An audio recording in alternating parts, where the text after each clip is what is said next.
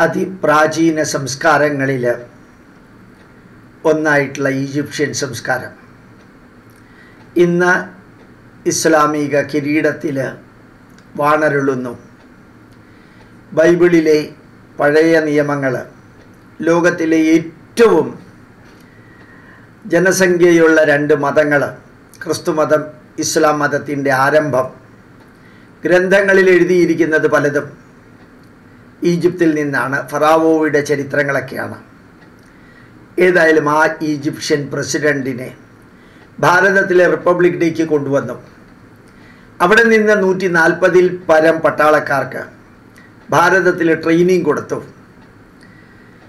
ലോക മുസ്ലിം രാഷ്ട്രങ്ങൾ കണ്ടുകൊണ്ടിരിക്കെ തന്നെ ആ ഇസ്ലാമിക രാജ്യമായ ഈജിപ്തിൽ നിന്ന് ഭാരതത്തിൽ വന്ന് ട്രെയിനിങ് സ്വീകരിച്ച പട്ടാളക്കാർ ഭാരതത്തിന്റെ ത്രിവർണ പതാകയും ഭാരതത്തിന്റെ പ്രസിഡന്റിനെയും ഭാരതത്തിന്റെ പ്രധാനമന്ത്രിയെയും അവരുടെ പ്രസിഡന്റിനോടൊപ്പം നിന്നുകൊണ്ട് സല്യൂട്ട് ചെയ്തു.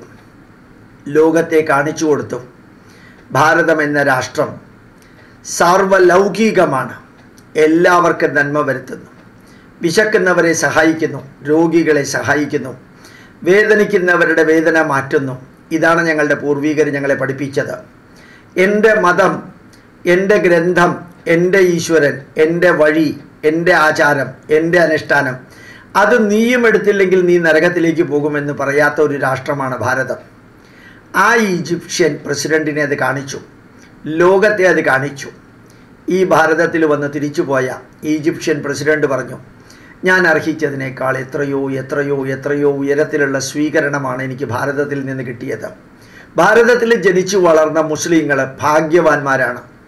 ലോകത്തിലെ ഒരു രാഷ്ട്രത്തിൽ നിന്നും ലഭിക്കാത്ത അത്രയും സൗകര്യങ്ങളും അനുഗ്രഹങ്ങളുമാണ് നിങ്ങൾ ഭാരതത്തിലെ മുസ്ലിങ്ങൾക്ക് ലഭിക്കുന്നത്. നിങ്ങൾ ഭാരതത്തോട് കടപ്പെട്ടിരിക്കുന്നു.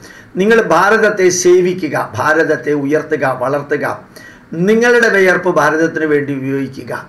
ഞങ്ങൾക്കെന്നും ആധാരമായിരിക്കുന്നത് ഭാരതത്തിന്റെ അനുഗ്രഹങ്ങളും സഹായങ്ങളുമാണ്. പാകിസ്ഥാനെ ശരിക്കിട്ട് കുടഞ്ഞ് ഈജിപ്ഷ്യൻ പ്രസിഡന്റ് പറഞ്ഞു നല്ല ശാന്തമായ സമാധാനത്തോടു കൂടി ജീവിക്കാനുള്ള ഒരു രാഷ്ട്രത്തിന്റെ അയൽവക്കത്തുകാരായി ജീവിക്കാൻ ഭാഗ്യം കിട്ടിയ പാകിസ്ഥാൻകാർ വേണ്ടതിനും വേണ്ടാത്തതിനും പ്രശ്നങ്ങൾ ഉണ്ടാക്കിയിട്ട് അവസാനം സ്വയം തളർന്ന് തകർന്ന് തരിപ്പണമാകുന്നത് കാണുന്നു. ലോകത്തിലെ മുസ്ലിം രാഷ്ട്രങ്ങളോട് ഈജിപ്ഷ്യൻ പ്രസിഡന്റ് അഭ്യർത്ഥിച്ചു ഭാരതത്തെ കണ്ടുപഠിക്കുക. ഭാരതത്തിന്റെ വളർച്ചയെ കണ്ടുപഠിക്കുക. ഭാരതത്തിന്റെ സമന്വയ ഭാവത്തെ കണ്ടുപഠിക്കുക. ഭാരതം എങ്ങനെ എല്ലാവരെയും ചേർച്ച് ഇത്രയും അധികം സാംസ്കാരിക മൂല്യങ്ങളെ ഒരൊറ്റ കൊടക്കീഴിൽ കൊണ്ടുവന്ന് വളർത്തുന്നു എന്നുള്ളത് അറിയുക. ഭാരതത്തെ തളർത്താൻ കൊളോണിയൽ ശക്തികൾ ശ്രമിക്കുന്നതിനേക്ക് അതിജീവിച്ചുകൊണ്ട് ഭാരതത്തിലെ എല്ലാവിധ വളർച്ചയും ഉയർച്ചയും സാങ്കേതിക വിദ്യയും കണ്ട അമ്പരന്നുകൊണ്ട് ഞാൻ പറയുന്നു ഭാരതത്തിന് തുല്യം ഭാരതം മാത്രം. ഇത് ഈജിപ്ഷ്യൻ പ്രസിഡന്റിന്റെ വരികളാണ്. ഭാരതത്തിലെ സ്വീകരണം ഏറ്റുവാങ്ങി. അദ്ദേഹത്തിന്റെ വലത് സൈഡിൽ പ്രധാനമന്ത്രിയും ഇടത് സൈഡിൽ പ്രസിഡന്റ് നിന്ന് സാധാരണക്കാരെ പോലെ സാധാരണക്കാർക്ക് വി വി ഐ പി കസേര കൊടുത്ത് സെൻട്രൽ വിസ്ത പണിതവരുടെ മുമ്പിൽ സെല്യൂട്ട് ചെയ്ത് നിന്ന് ഒരു പ്രധാനമന്ത്രിയെ കണ്ടപ്പോൾ ലോകം ഞെട്ടാതിരിക്കില്ല. അതാണ് ഭാരതം. ഇന്നത്തെ ഭാരതമല്ല എക്കാലത്തെയും ഭാരതം അതായിരുന്നു. അതിനെ തകർത്ത് തരിപ്പണമാക്കിയതാണ് നെഹ്റുവും ഗാന്ധിജിയും. അവരെയെല്ലാം മാറ്റേണ്ട സമയമായി. അതുകൊണ്ട് തന്നെ സുഭാഷ് ചന്ദ്രബോസിന്റെ സമുജ്വലമായ ചിത്രം അനാവരണം ചെയ്തത്. ഗാന്ധിജിയെയും അതുപോലെ തന്നെ നെഹ്റുവിനെയും എല്ലാം ഭാരതത്തെ ഏതാണ്ട് ഉന്മൂലനം നമ്മുടെ സംസ്കൃത സംസ്കാരത്തെ ഉന്മൂലനം ചെയ്യാൻ ഇംഗ്ലീഷുകാരുടെ കൂടെ നിന്നവരാണെന്ന് ഭാരതത്തിനകത്തും പുറത്തും നിന്നുള്ളവർ തിരിച്ചറിയുന്ന ഒരു കാലഘട്ടത്തിലേക്ക് ഭാരതം നീങ്ങുന്നു പരോക്ഷമായിട്ട്.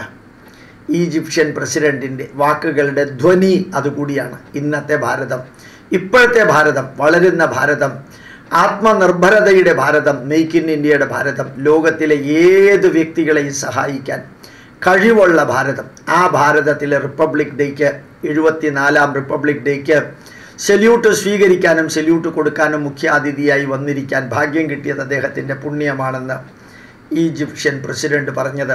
ഈ ഭാരതത്തിനകത്ത് തിളച്ചു മറിയുന്ന ക്യാൻസറുകളായ ഭാരതത്തിന്റെ ശത്രുക്കൾ കേൾക്കാൻ ചെവി അടച്ചു പിടിക്കാതിരിക്കുക അപ്പം നിങ്ങൾക്ക് കേൾക്കാൻ സാധിക്കും.